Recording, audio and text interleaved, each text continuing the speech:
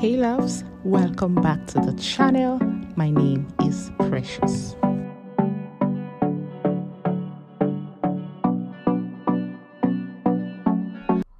Hey guys, welcome back to the channel. How are you all doing? Anyways, like I said, I've just noticed that I've been making a whole lot of video in my car and because sometimes when I'm driving or if hobby is dropping me, I just have some inspiration that I'll be like, okay, let me just come make this video as it hot, just so that I don't lose that inspiration. Anyways, you're just seeing this face for the first time, you're most welcome. My name is Precious. I'm a Nigerian YouTuber based. Sorry guys, I'm listening. I'm waving to my friend. I'm a Nigerian YouTuber based in Lagos, Nigeria. I generally film about lifestyle, relationship, food, marriage, faith, migration, and vacancy notification. Okay, so if this kind of content you enjoy, do well to subscribe, smash that subscribe button, turn on the bell notification just so you get all of my videos anytime I upload them. So, guys, there's this um there's something I said I want I want to come share with my tribe. Okay, I don't know. I think I should start um naming my subscribers like as my tribe this is because i feel it's um i i feel there's a sense of belonging when i call you all my tribe or tribers i know i mean I used to say guys, hey guys, hey guys, but I want to, you know, start transitioning. I know some people, you know, like pull up a poll to know what what they want to call their subscribers. But anyways, tribes, tribers, um, it's good to always have you guys here. So do well to smash that subscribe button. So guys, like so subscribe, so tribers, there's something uh I want to discuss with you guys, and I just thought it necessary to one minute, guys. So I just thought it necessary for me to come share with my tribers or with my subscribers, and I is it's about spirituality. Okay, if you are struggling in your spiritual life as to how to pray to God, how to talk to God, what to even pray about. Because sometimes when we sit down to have our devotion with God, oftentimes than not, we don't even know what to pray about. And even when we know what to pray about, you know, we tend to idolize it. By idolizing it, I mean we we don't we don't tend to tell God to always have his way or have his best decision for us. I give an example. Say somebody is coming for your hand in marriage and you like the person or the person suits or fits all your what's it called now? Everything, all the dots, right? All the dots connect and we're like, hey God, please let your will be done. Give me the sign that um, Ebuka is mine, or give me the sign that Skelechi is mine. You know, all of those things. And at the end of the day, we just we just don't say, Father, at the end of this, let your will be done. Okay, so that's by idolizing something in our heart. So somebody like me, I used to journal a lot. I used to talk to God. I write to Him it works for me really. And this is where i used to put down all my journaling when i'm praying to god. All these are just all what i wrote for this year. Yeah. For not even for this year like two years ago. So you can see if you look clearly i used to say dearest daddy. I call my my heavenly father daddy as well. So like i journal a lot. It's part of my prayer lives thingy. This is from 2020. I started using this book from 2020, 2021. Do you understand? Anytime I'm having my devotion, I try to write down to my father. I, you know, I just pen down things that I want, things I want him to do.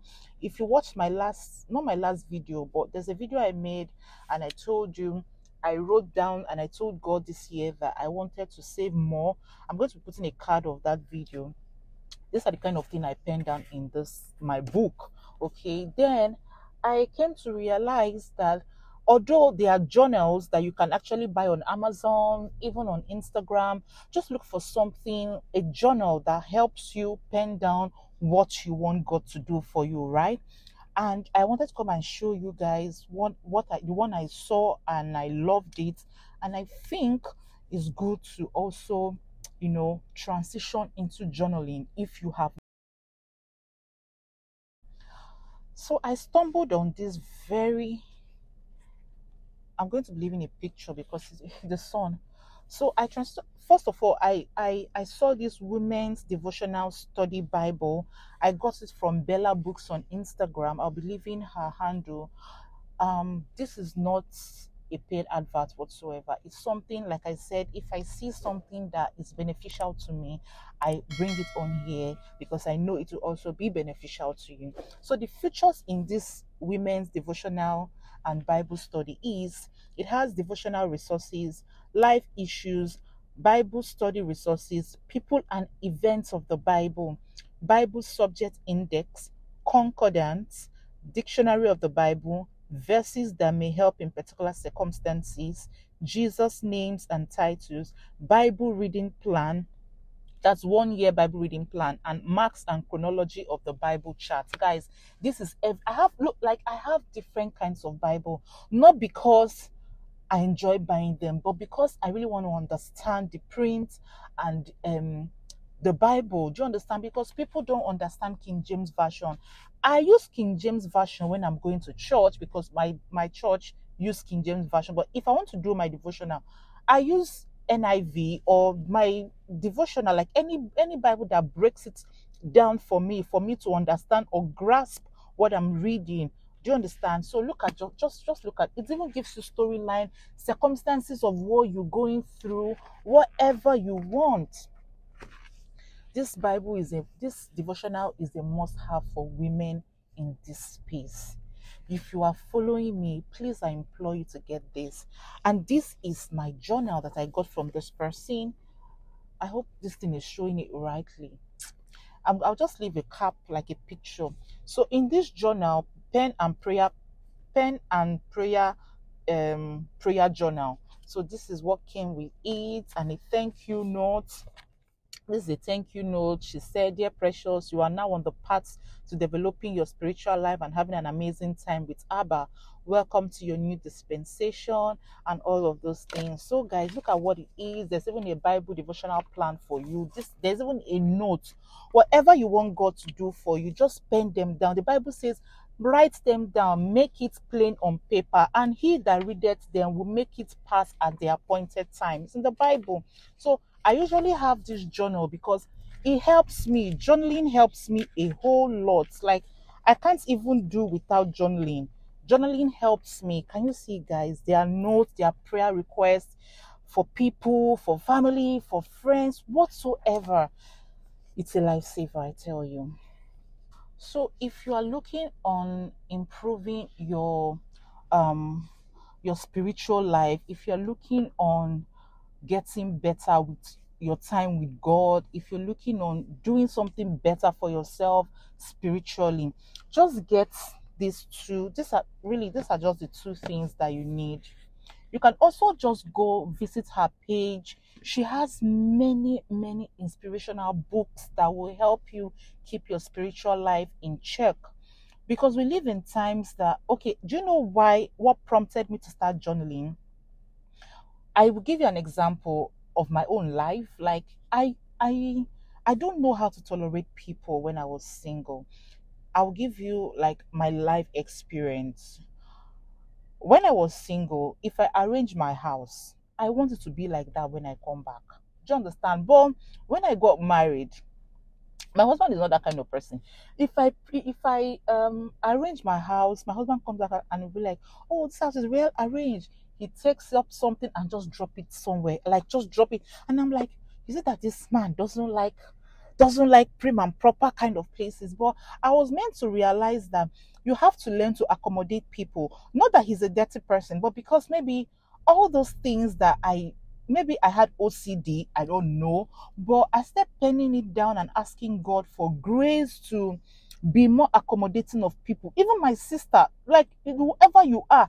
I remember when I was still single. Once I, hey God, don't wear any of my things. Don't wear my clothes. If you must wear my clothes, you must use my things. You are you just tell me and I will approve of it before you use it. Do you get? But getting married made me understand that I will not I will not always have my way like that. It was a problem, it was an issue. I started writing it down. I started asking the Holy Spirit for grace I will always write it down. I'll say, God, as I'm getting married, I know this this might go this might be an issue. It's it was it was it was an issue at some point, but at this point, make person no die. If my husband comes back and maybe drops a cloth or so, a shoe where he's not supposed to be, I will not just complain because how how long will you complain? If somebody is not like you, is not like you. So I'll just once I just see it, I just say, Holy Spirit, just help me. And I'll just take it back, do you know, places where it's supposed to be. See, you will have like you will not lose your mind. Because if you are trying to struggle, you will struggle and get tired.